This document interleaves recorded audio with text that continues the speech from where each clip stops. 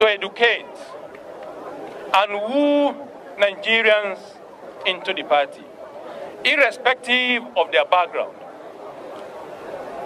Uh, our brother and friend, Chief Femi Fani Kayode, has joined our party in good faith. For the youth.